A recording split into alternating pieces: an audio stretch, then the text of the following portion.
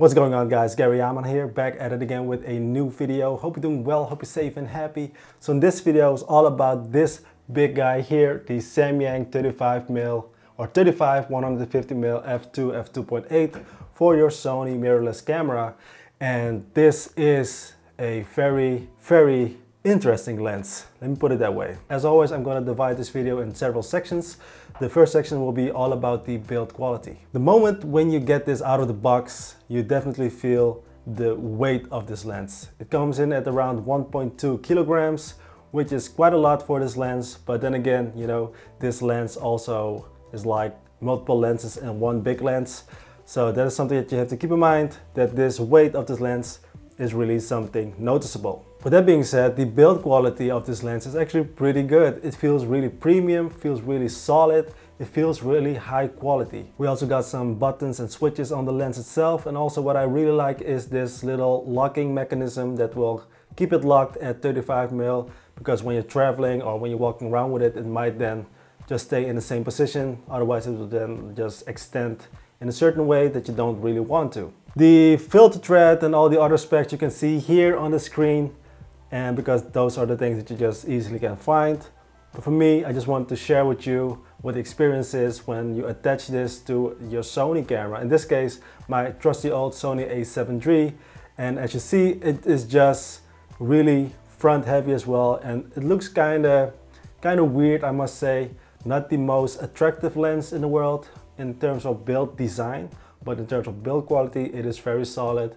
I do wish that it has some kind of uh, tripod collar, collar, collar. You know what I mean, right? This tripod mount as well, because when you have it like extended all the way on a tripod, it feels very front heavy.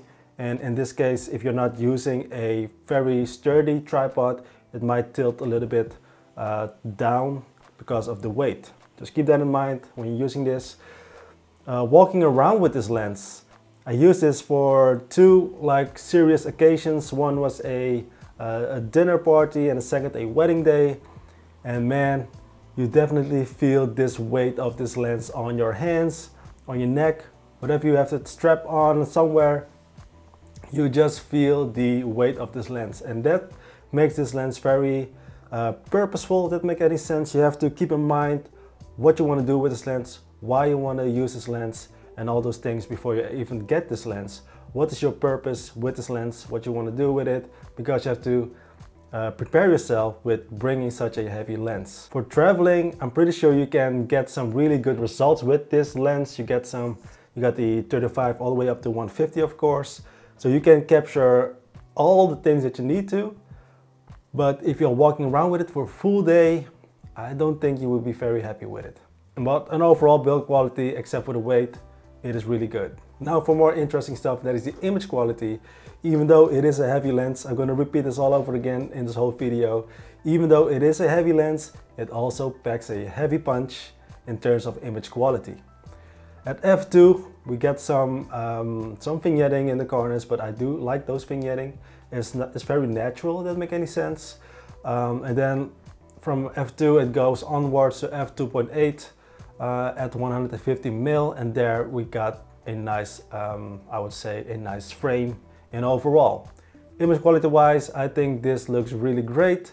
Of course, you can edit the pictures as much as you want to get even a better result, but just straight out of camera, it looks great already. If we step down aperture a little bit, we get some sun stars, as you see here. These, these are just little test results, by the way.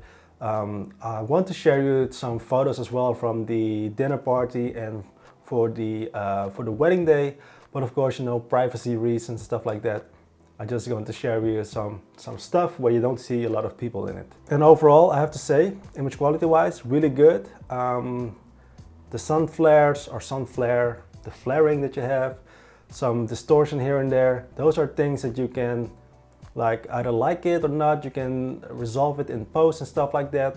But in overall how it just looks how it feels in terms of image quality for photo it looks really good. The same applies for video.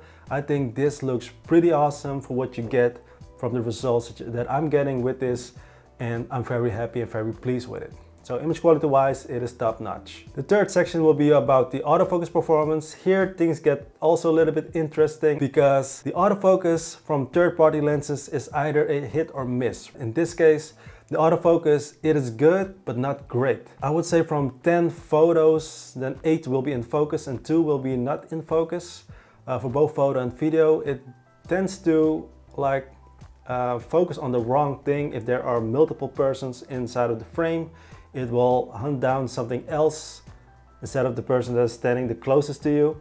Sometimes even between, uh, you got like persons facing the faces that way and one face is directly at the camera, it will still focus on the two faces where you see the back of the head. So the one that is straight looking into the camera is not in focus, but the ones that are not looking to the camera, those are in focus. Which is to me really, really strange. I don't know why it happens like that.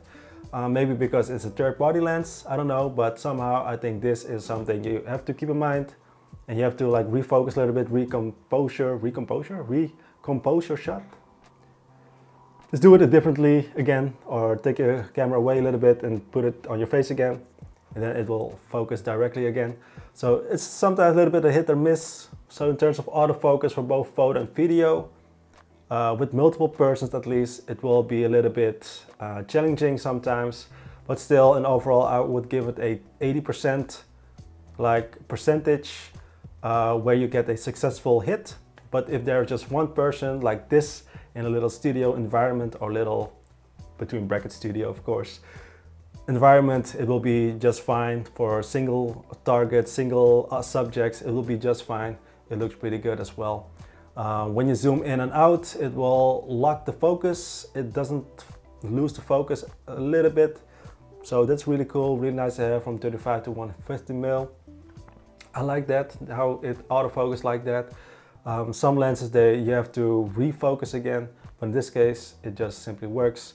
So that's really cool. But in overall, I would give this autofocus, as I mentioned before, it is good, but not great uh, type of rating. Anyways, we come to the end of this video, uh, or the overall question here is, do I recommend this lens, yes or no? The answer is yes. I do recommend this lens, but just be aware of two major things, two major things that you need to consider. That is the weight, because you have to, as I mentioned before, you have to think for yourself what you want to do with this lens. Is this something you want to travel with? Is this something for like professional work? Uh, because the weight will get you in the end somehow.